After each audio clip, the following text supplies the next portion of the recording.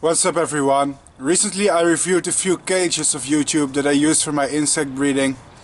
And some of you were like, hey Bart, that's not the cages that you regularly use. And I was like, hmm, you have a point, you know. 90% uh, of my videos I use a different type of cage.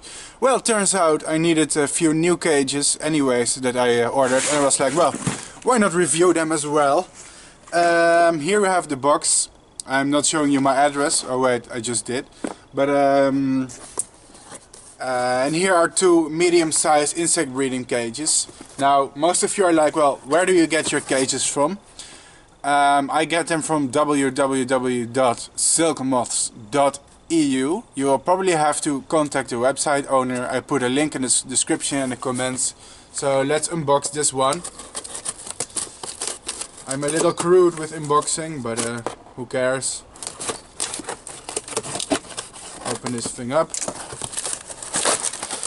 And these are medium-sized cages that I always use.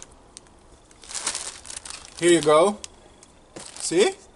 And uh, there's even two of them. So I'm gonna take it out of the plastic. As you can see they're foldable and uh, quite versatile.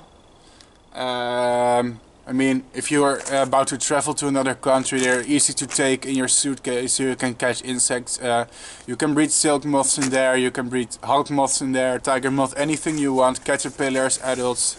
So if I take this one out, I can unfold it. As you can see, they're quite large.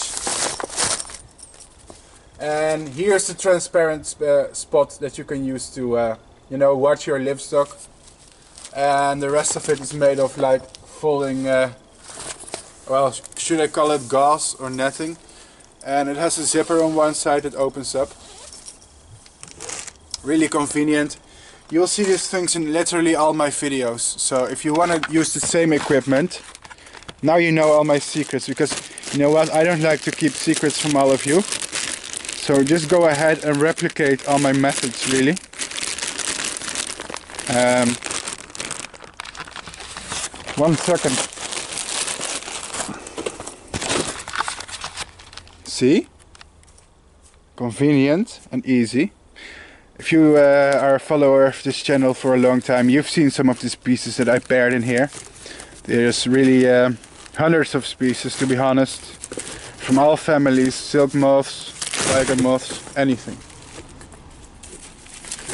There you go.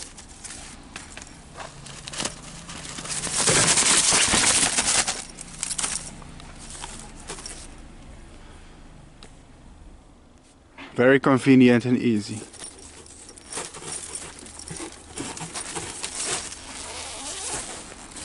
So if you want to use these then check out the link in the description and you will know where I got them from. Thanks for watching and until next time.